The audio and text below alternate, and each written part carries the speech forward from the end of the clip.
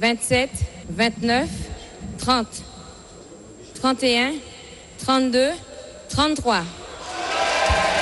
Pas une voix donc euh, de la majorité n'a manqué euh, pour cette élection d'Alfred Marie-Jeanne à la tête du conseil exécutif de la collectivité territoriale de Martinique, donc à la tête de cette CTM. Alors, conséquence immédiate, les neuf personnes qui viennent d'être élues au conseil exécutif ne sont plus membres. Enfin, il va falloir qu'ils se prononcent ici un mois, mais on peut parier que, que ce sera juste formel. Mais en tout cas, ils ne seront plus membres de l'Assemblée Chers collègues, mesdames et messieurs, je demande une minute de silence pour la proclamation des résultats. Je, je rappelle qu'il n'y avait qu'une liste en présence. Nous avons décompté 18 blancs. Et la liste Grand Assemblée Pouba-Pays en chance, conduite par Alfred Marie-Jeanne, a recueilli 33 voix. Elle est proclamée élue. Et de ce fait, je proclame Alfred Marie-Jeanne président du, de l'exécutif de la collectivité territoriale de Martinique. Et Ouais, ouais Ouais, ouais, ouais, ouais, ouais S'il vous plaît. S'il s'il vous plaît.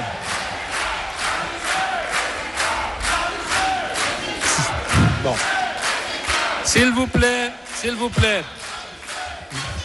Permettez-moi, permettez-moi, avant, avant de demander à notre président de la collectivité territoriale de Martinique de nous rejoindre à la tribune, permettez-moi de lire la liste des élus euh, du conseil exécutif de la collectivité. Alfred Marie-Jeanne, Marie-Hélène Léotin, Louis Boutrin, Aurélie Nella, Francis Carole, Sylvia Saïd-Soutan, Miguel Laventure, Marinette Torpille, Daniel Marie-Sainte. Je demande au président de la collectivité territoriale de Martinique de venir s'installer dans son fauteuil à la tribune.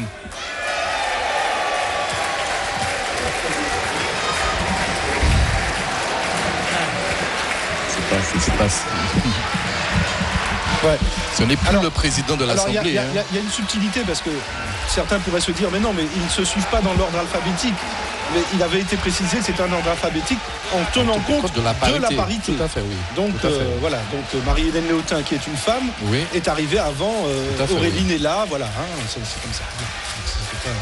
Voilà, donc Alfred Marie-Jeanne se dirige vers le fauteuil. Non, il va, je crois qu'il va se faire une déclaration tout de suite. Non, parce Ah, que le- avant même de s'asseoir. la oui, personne qui préside toujours Ah la oui, c'est toujours le président de l'Assemblée de, l'Assemblée. Martinique. Très bien. D'accord.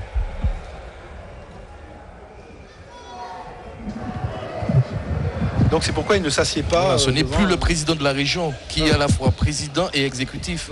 Nous sommes dans un cas de configure complètement distinct, Voilà. différent. Le président il va rester assis à la tribune du président de l'Assemblée, alors que le président du conseil exécutif sera à la tribune et il va rejoindre ensuite les bancs de l'Assemblée Exactement, formellement. tout à fait. Donc à la prochaine séance plénière, eh bien, on a une autre configuration de l'Assemblée avec les neuf euh, autres élus qui vont remplacer ceux qui viennent Ouais, il va falloir qu'il s'y nommés. habitue hein, quelque part. hein. Oui, et nous aussi, par conséquence. Est-ce qu'on m'entend?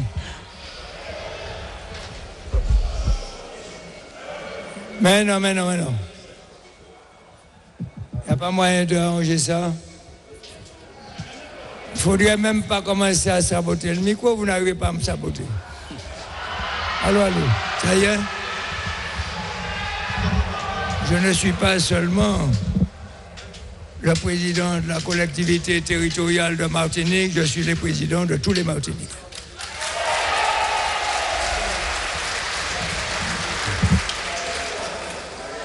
Avant de poursuivre, vous me permettriez de faire une entorse au règlement, au protocole. Monsieur le préfet, vous ne pouvez pas être un observateur muet. Il n'est pas dit. Et que par conséquent, j'aurais souhaité au-delà de la solennité, mais du fait que c'est une élection historique, que vous veniez ici dire deux mots.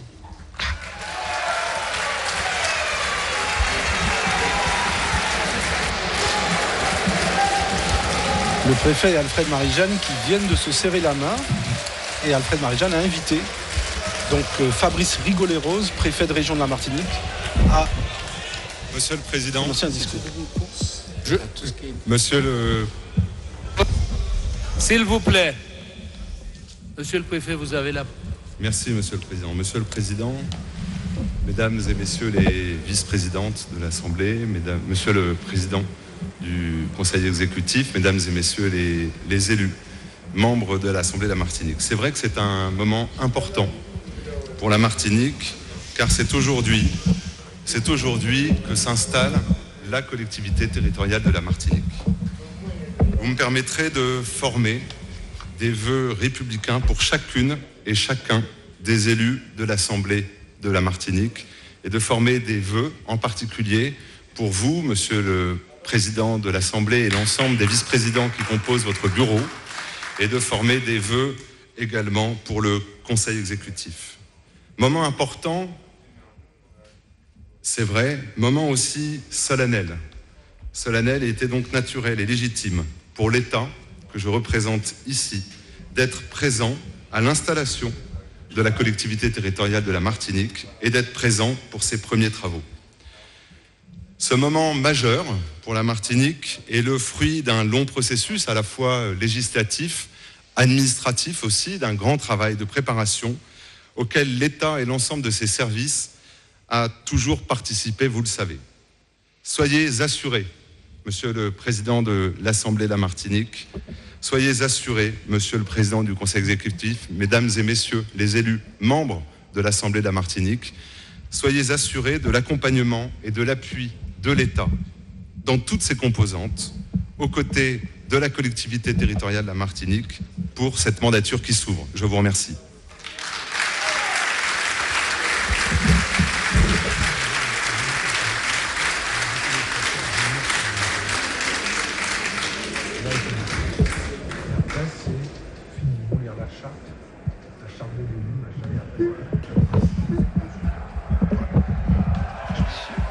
Allô, allô.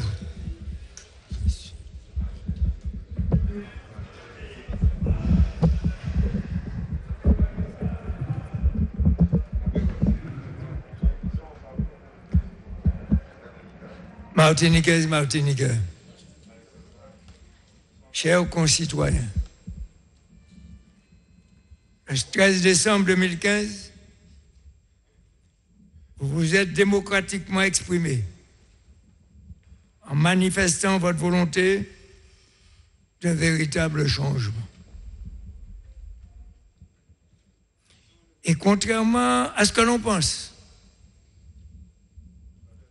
si je fais une digression, si j'avais la possibilité de dissoudre la- l'Assemblée pour recommencer, nos scores auraient triplé.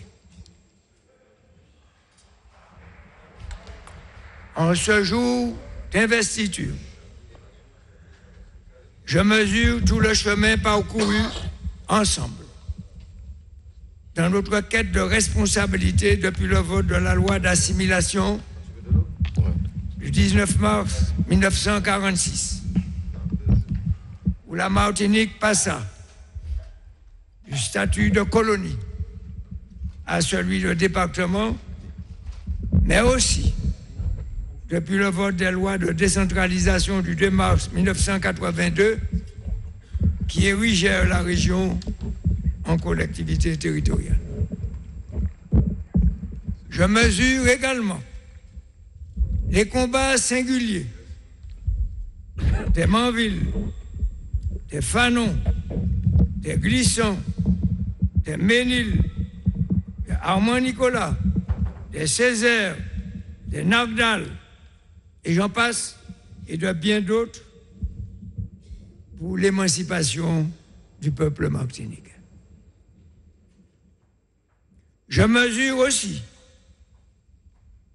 mon infactible un défectible engagement en compagnie de Claude Lise pour déverrouiller la Constitution française et permettre ainsi la consultation des Martiniquais sur la nécessaire évolution de nos institutions. Je mesure enfin ces années perdues depuis le vote des Martiniquais du 24 janvier 2010, bientôt six ans, visant à l'instauration de cette collectivité territoriale de Martinique tant attendue. L'histoire retiendra que le 13 décembre 2015, il n'y a eu qu'un vainqueur, pas moi, le peuple martiniquais.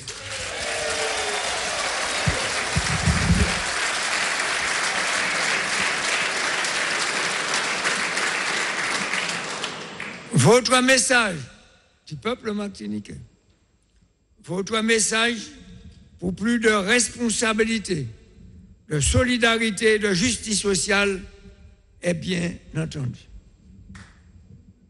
Il est bien entendu car les conditions historiques sont aujourd'hui réunies. En effet,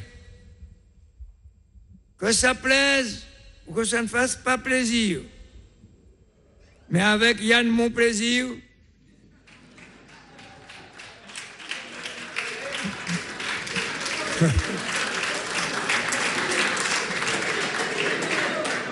et sa liste en chance, nous avons pu surmonter nos divergences idéologiques et considérations partisanes pour n'entendre que la voix de notre conscience collective.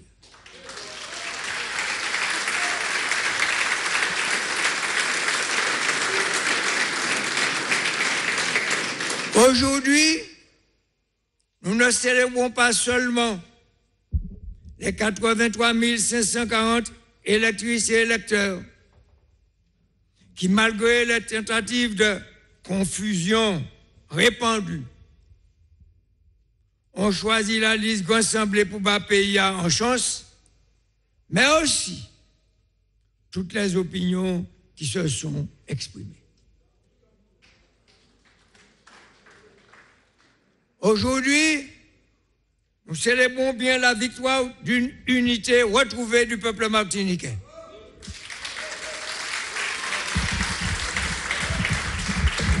La victoire d'une nouvelle ère qui marque à la fois une fin et un commencement.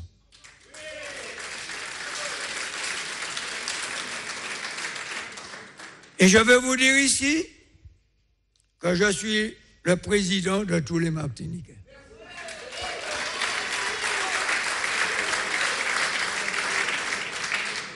Je suis le président d'une Martinique que je souhaite réconcilier,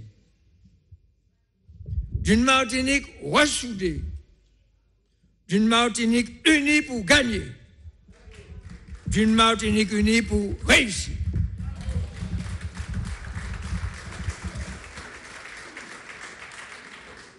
Car aujourd'hui, le monde a changé.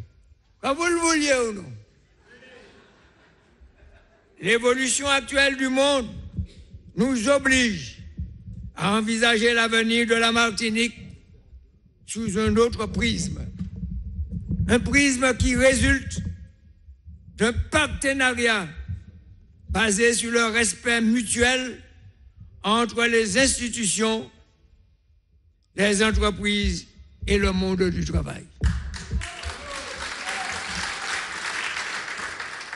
L'évolution du monde nous oblige aussi à gérer nos interdépendances et à affirmer notre lien à la France et à l'Europe à travers une relation plus responsable et plus respectueuse de nos intérêts, de notre positionnement dans notre environnement géographique, la Caraïbe, de notre culture et de notre identité. Qui serait contre ça?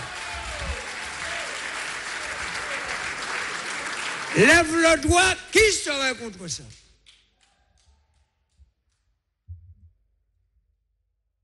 C'est ceux qui donnent du sens à notre engagement et qui fondent notre désir de cogestion. C'est notre capacité, par notre diversité et notre richesse humaine, à relever les défis auxquels la Martinique est confrontée. Aujourd'hui, nous n'avons pas le droit de vous décevoir face aux responsabilités que vous nous avez confiées. Aujourd'hui, notre seule boussole est cette exigence d'unité et de respect des engagements mutuels que nous avons scellés dans notre contrat de mandature.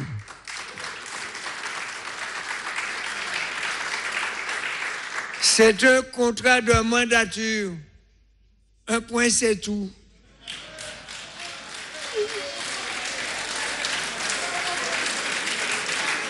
Le reste, ne pas, ça ne m'intéresse pas.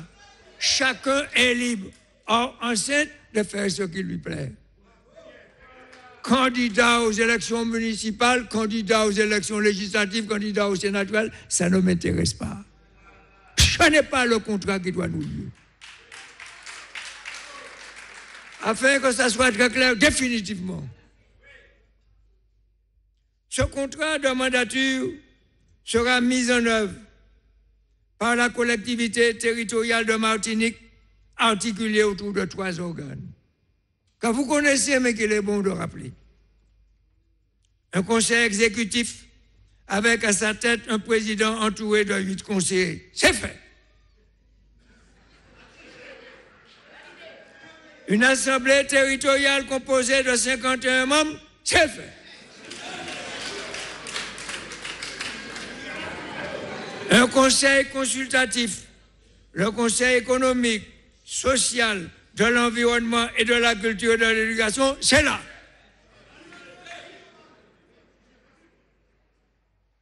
Ce contrat de mandature, nous le mettrons en œuvre également sur la base du partenariat avec les trois communautés d'agglomération et l'ensemble des 34 communes de la Martinique sans aucune exclusion.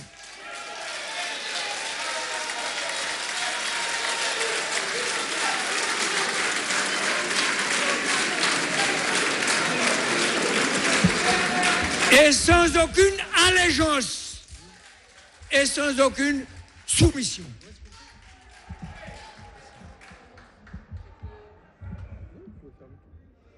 Car je suis le président de tous les Martiniquais.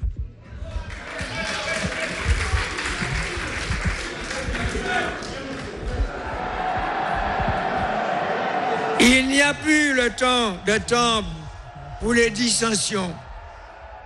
Il est urgent de nous mobiliser. Il est urgent de nous mobiliser, de mobiliser d'abord ceux qui devront nous accompagner dans la mise en œuvre de nos actions. Je veux parler, écoutez-moi bien, des 3687 collaborateurs au moins, selon les chiffres qui m'ont été communiqués par les services. Pour mes précautions,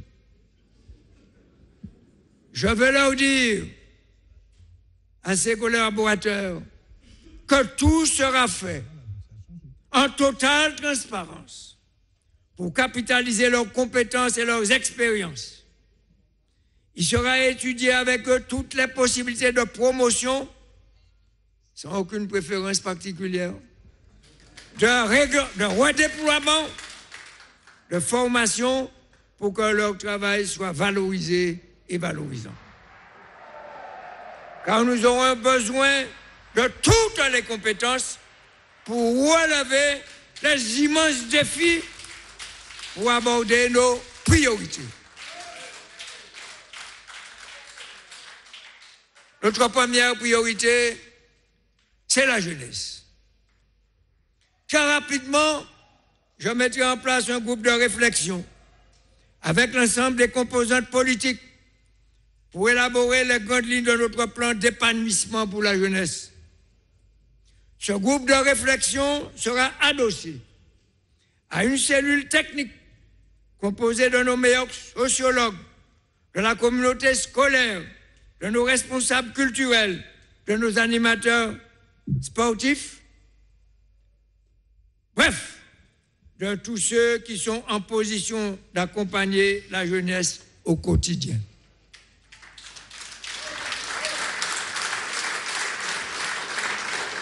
Ce plan devra nécessairement être travaillé avec les instances judiciaires et les instances pénitentiaires.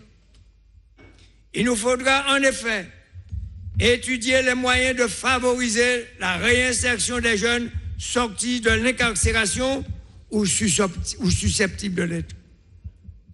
Ce plan devra également être travaillé avec le rectorat.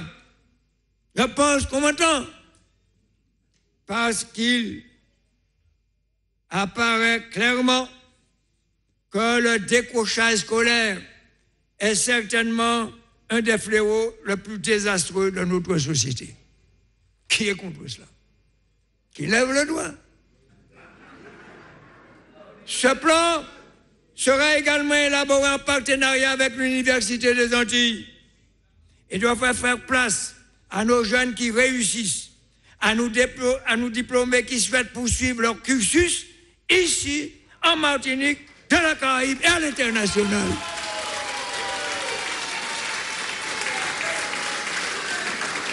Qui est contre soi, qui lève le doigt.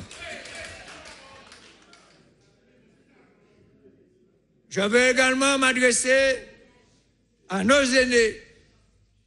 L'action de la collectivité territoriale de Martinique se poursuivra avec l'évaluation du troisième schéma géontologique et la mise en œuvre du quatrième à l'échelle du territoire pour qu'aucun de nos aînés ne se trouve en situation d'isolement ou de précarité. Qui est contre cela? Qui lève le doigt?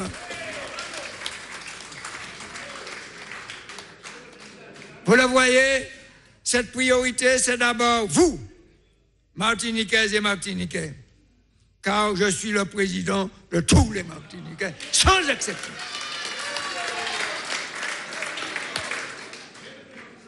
Notre deuxième priorité, c'est l'emploi. Et je tiens, et je tiens à lancer ici un appel pressant aux chefs d'entreprise, les plus petites comme les plus grandes, même si certaines grandes entreprises peuvent se passer de nous, pour relever le défi de l'emploi, je le dis publiquement. Qui est contre ça, qui lève le doigt.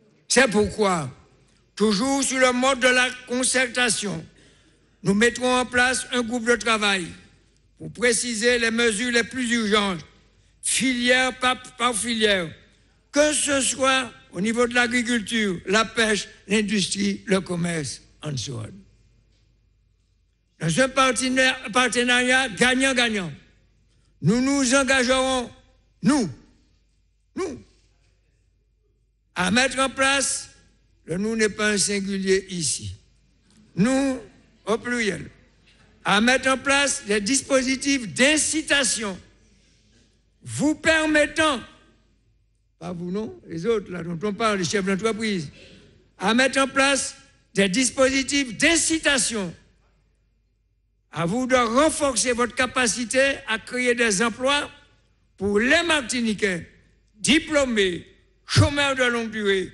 handicapés, femmes, jeunes laissés pour compte. Car je suis le président de tous les Martiniquais.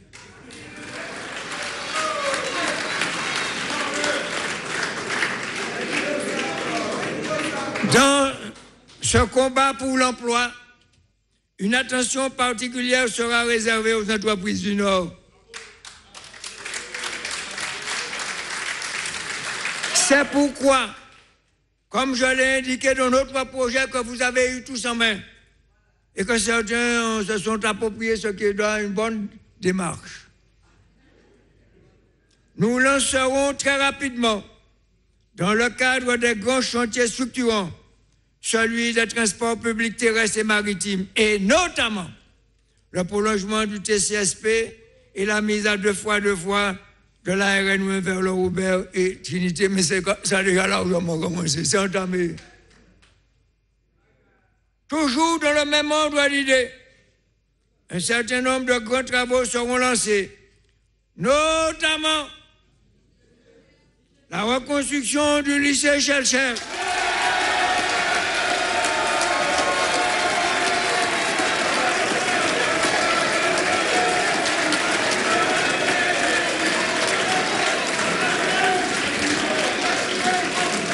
Et à cet égard, et à cet égard, je me retourne déjà vers le maire de Fort-de-France pour lui dire qu'en cas où il refuserait, ce serait un casus belli.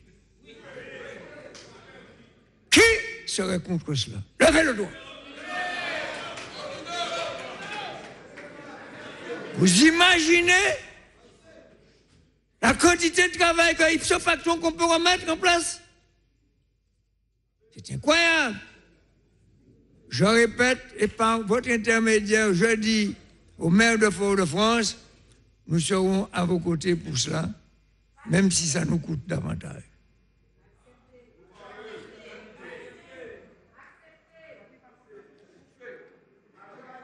Je disais, nous continuons la construction également de l'Institut des arts de la scène et du spectacle.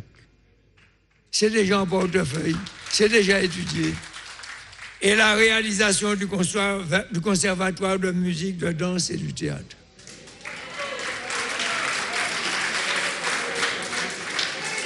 Il s'agit non pas de saupoudrer les communes en fonction de leur appartenance à notre alliance, mais d'initier de gros travaux d'un montant équivalent à 450 millions d'euros pour doper très rapidement le secteur du BTP. Qui est contre ça Qui lève le doigt?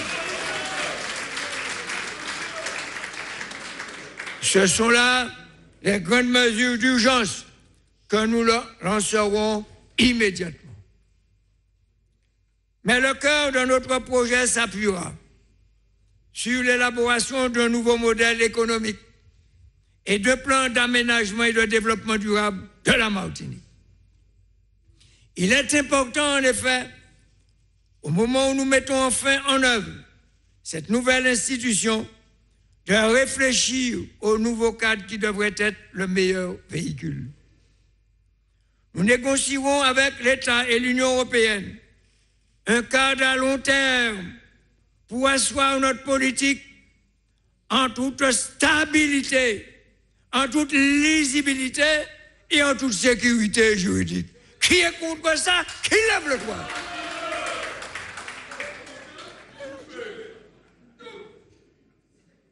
Voilà nos grandes priorités pour les prochaines années. Vous avez souhaité une équipe plurielle pour mener la bataille. Nous l'avons fait. Et nous n'excluons personne. Cependant, nous aurons besoin de vous tous, Martiniquaises et Martiniquais, pour gagner cette bataille. C'est pourquoi nous vous demandons de vous impliquer à nos côtés. En fonction de notre détermination et de, vos capacités, nous mobiliserons auprès de vous un emprunt obligataire. Ce dispositif innovant vous permettra de participer à la construction de notre Martinique. Qui est contre ça Qui lève le doigt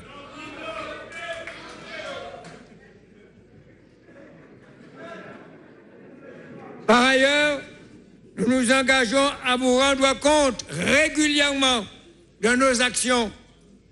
À cet égard, nous mettrons en place une conférence des acteurs économiques et sociaux pour, qu'en toute transparence, vous faire part des avancées, des freins, des projections. Vous serez donc également aux manettes, donc à la direction. Aujourd'hui, c'est donc la victoire de l'engagement, de la transparence et de l'unité.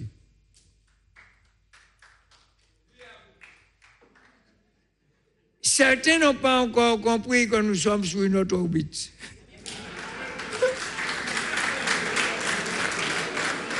Vous, gravitez autour d'un passé moribond alors que nous sommes déjà sur notre orbite plus féconde. Martiniquais et Martiniquais, c'est sous cette base que nous construirons ensemble la Martinique. Vive l'unité retrouvée du peuple martiniquais. Vive la collectivité territoriale de Martinique. Vive la Martinique. Merci en pile, merci en chai, merci en pile.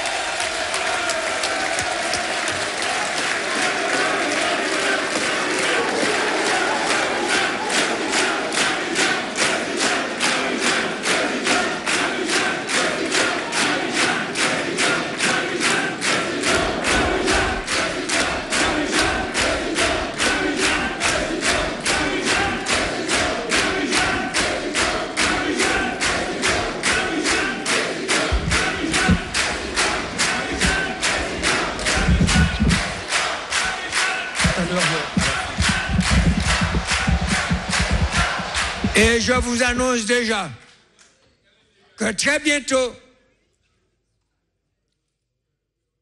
nous chercherons à l'intérieur des deux collectivités, bien à l'intérieur des deux collectivités, les compétences.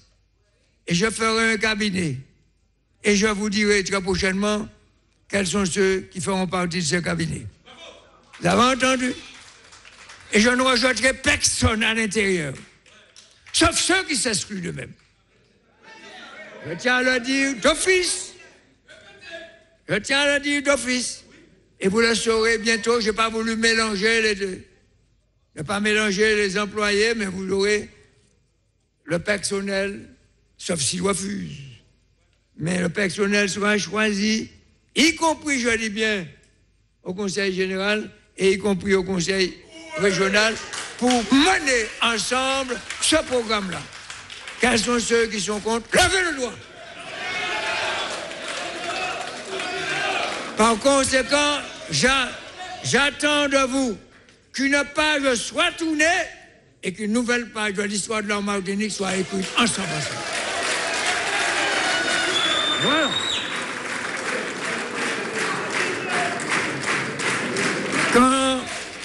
Quant au peuple martiniquais, je ferai de mon mieux pour ne pas vous décevoir, d'autant, et je l'ai dit ici, que je n'aspirais à aucun autre poste, ni député, ni sénateur, ni maire, ni quoi que ce soit, tous les postes sont libres pour vous. Qu'est-ce que vous voulez de plus? Pour le PD, oui? Merci beaucoup, messieurs, camarades. À bientôt.